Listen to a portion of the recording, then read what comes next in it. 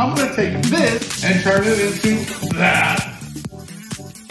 And I ain't monkey around. That's right, let me show you how to do it. Let's go. Get your fresh pineapple, off with the top, trim the bottom, cantaloupe in half, attach the cantaloupe half, wedge out of the orange, on with the grape for its nose. And now let's attach it to the face.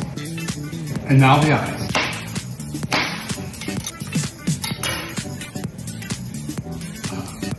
And add it to his face. Trim an apple for his hat.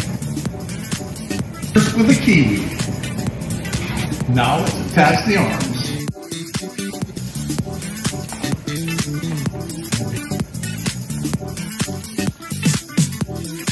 how we do that. This is what I'm talking about. You just think about it, lamb food, hello, food.